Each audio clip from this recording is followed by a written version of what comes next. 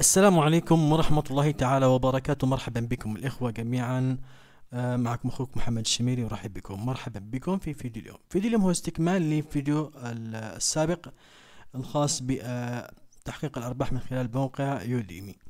في هذا الفيديو إن شاء الله بنتطرق لكيفية آه، إرسال آه، الكورس التعليمي إلى فريق يوديمي. من أجل المراجعة وكيف يتم إرساله وما هو المطلوب منا علشان نرسل هذا الكورس على الموقع عشان يتم بعدها المراجعة ويتم قبول الكورس التعليمي. كل هذا إن شاء الله بنتكلم عنه في هذا الفيديو. فكل ما أتمنى منكم هو التفاعل معنا. عشان نستمر معكم فيديوهات تحقيق الربح من الانترنت. بنستمر إن شاء الله في سلسلة فيديوهات لتحقيق الأرباح من الانترنت. طبعا هذه الفيديوهات بتكون هي لصالحكم لصالح الجميع إن شاء الله وتفتح باب رزق للجميع. فكل ما أتمنى منكم هو التفاعل الإيجابي معنا وعمل اشتراك بالقناة وتفعيل جرس التنبيهات وأيضا عمل لايك الفيديو لكي نستمر معكم بالمزيد إن شاء الله. فحتى نطيل معكم المقدمة خلونا نبدأ الآن بشرح الفيديو. طبعا هذه الدورة التعليمية الخاصة بنا اللي وضحنا بالفيديو السابق أنه قمنا بإنشاء هذه الدورة التعليمية. ولازم يكون عندنا كافة هذه الخيارات مفعلة زي ما أنتم شايفين بعلامة الصح. وشرحناها بالفيديو السابق. كان تبقى فقط اللي هو آه، قسم المنهج الدراسي والترجمة. قلنا بنشرحها بهذا الفيديو. فقسم المنهج الدراسي أول شيء أول شيء لازم إنه يكون عندك خمس أقسام داخل هذا المنهج. لازم يكون في عندك أقل حاجة خمس أقسام داخل الكورس التعليمي. وبعدين كل قسم داخله بتقسم عدة محاضرات أو أسئلة حسب رغبتك. تمام؟ فأنا حاليا قسمت الكورس التعليمي إلى مقدمة وأساسيات العمل على كالينكس مثلا وأيضا اختبار الشبكات واختبار المواقع الإلكترونية وأيضا اختبار أنظمة التشغيل وكان آه، هذا هو خامس قسم. أيضا يجب أن يكون آه، داخل كل قسم مجموعة من الفيديوهات والأسئلة وممكن تقسم أقسام داخل هذا القسم بشكل فرعي. ممكن تعمل آه ممكن تعمل محاضرات أو اختبار أو آه، زي ما تكلمنا بالفيديو السابق. أوكي؟ آه بعد أن تنهي آه تقسيم الكورس التعليمي حسب رغبتك أو حسب الدورة التعليمية اللي أنت بترفعها. في عندك هنا في هذا المكان لرفع الفيديوهات تقدر ترفع الفيديوهات من هذا المكان ترفعها للمكتبة من هذا المكان. وبعدها تقوم بربطها مع أقسام أو الفهرس الخاص بالدورة. ففي هذا المكان تقوم بإضافة الفيديوهات من خلال السحب والإفلات أو اختيارها من خلال هذا الزر اللي هو choose files. تمام؟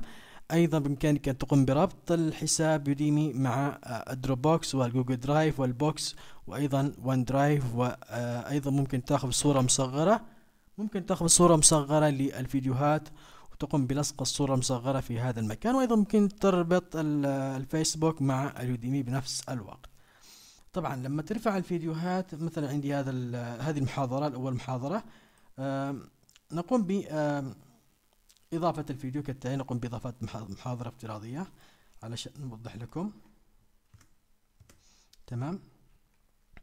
آه علشان نضيف الفيديو للمحاضرة نقوم بالنقر على المحتوى وال content.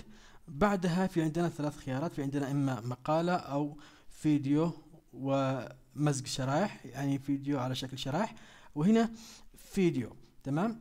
فنختار مثلا فيديو. في عندك خيارين تضيف الفيديو من خلال رفع مباشر من هذا المكان أو من خلال إضافة الملف من المكتبة واللي تكلمنا قبل قليل عنه. نقوم بإضافة الفيديو من هذا المكان بتجده في هذا المكان تم إضافته وتقوم باختياره تمام؟ فبعد أن تقوم بإضافة الفيديوهات واستكمال الكورس التعليمي بالكامل وتبقى عندك آه، الدورة مكتملة في عندك خيار اللي هو الترجمة. وفي هذا المكان آه، يجب أن تقوم بإضافة ملف بامتداد آه، dot VTT تمام؟ ويكون داخل هذا الملف ترجمة للفيديو. أوكي؟ فمثلا إذا أنت ما تريد تترجم الفيديو أو تخلي الفيديو باللغة العربية بدون أي ترجمة ممكن ترفع ملف آه فيه يعني آه إضافات بسيطة. طبعا هذا عندي مثال بسيط لترجمة إحدى فيديوهات الدورة الخاصة بي. فنقوم بإضافة صيغة الوقت. مثلا في الوقت اللي هو في هذا الوقت اللي هو من خمس دقائق إلى ثمان دقائق بيكون من خمس ثواني إلى ثمان ثواني بيكون في عندي هذه الجملة الموجودة بالأسفل. السلام عليكم ورحمة الله وبركاته. مرحبا بكم الأخوة الكرام. في أسفل منها بيكون في عندي التوقيت الذي يليها وبيكون بهذه بهذه الصيغة. أنا بترك لكم الصيغة الخاصة بالتوقيت. بيكون بهذا الوقت من الثاني اللي هي رقم ثمانية إلى الثانية عشرة. بيكون معكم أخوكم محمد شميري كان بدأ تعريفية. يعني تقسم الفيديو الخاص بك الخاص بالمحاضرات إلى توقيتات وتكتب أسفل كل توقيت الجملة المناسبة بهذا التوقيت. يعني بيكون شكل التوقيت أو صيغة التوقيت بهذا الشكل فيكون ملف الترجمة على هذا الحال إلى آخر كلمة في الفيديو أو إلى آخر جملة في الفيديو يكون بهذا الشكل يتم إضافته بهذه الطريقة. وأيضا بقوم بإرفاق هذه الصيغة لكم ضمن التدوينة إن شاء الله.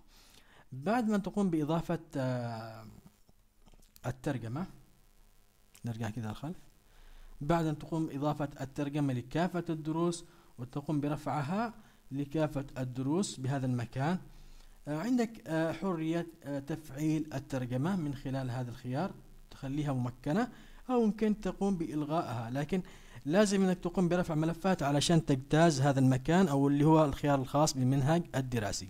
تمام؟ يعني بهذا المكان. فأنا حاليا بقوم بحذف هذا المحتوى علشان آه ما يكون في مشكلة لأنه حاليا لما ضفت هذا آه هذه المحاضرة تم إلغاء خيار المنهج الدراسي لأنه لازم نقوم باختيار فيديو لهذه المحاضرة علشان يتم تفعيل المنهج الدراسي. نشوف الآن تم تفعيل المنهج الدراسي. طبعا بعد انتهينا من إكمال كافة الخطوات السابقة. تبقى لنا فقط أنه نقوم بعمل تقديم للمراجعة من خلال هذا الزر.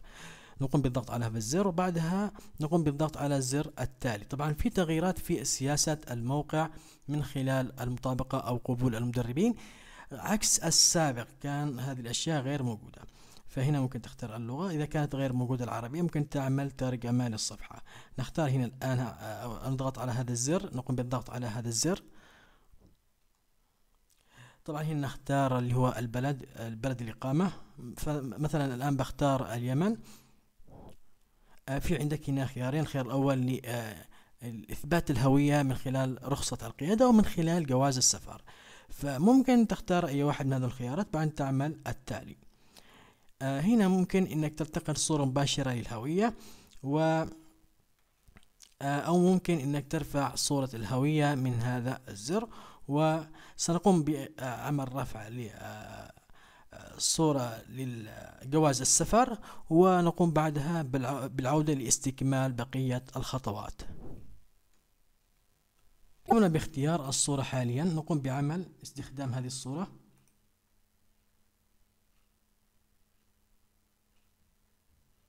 نشوف الآن يتم رفع الصورة.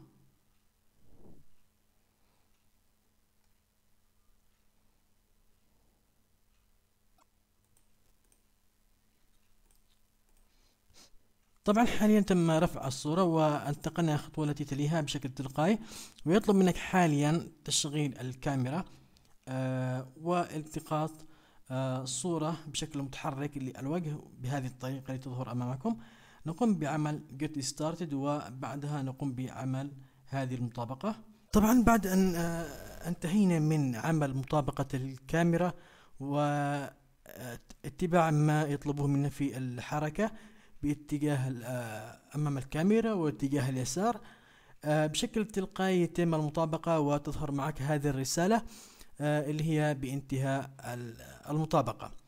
طيب بعد هذه الخطوة هم بيتم مراسلتك بعد هذه الخطوة يعني هم بعد ما يراجعوا هذه المطابقة بيقوموا هم بمراسلتك على البريد الإلكتروني و نشوف إيش الخطوة اللي بعدها وبنتكلم عنها إن شاء الله بالفيديو القادم. طبعا هذا كان باختصار لشرح الخطوات الأولية لإرسال المطابقة إلى فريق يوديمي علشان يتم آه قبول الدورة التعليمية وبعدها نستمر في العمل على موقع يوديمي كمحاضرين أو كمدربين فتمنيتي للجميع بالتوفيق إن شاء الله وألقاكم إن شاء الله في الفيديوهات القادمة. في أمان الله.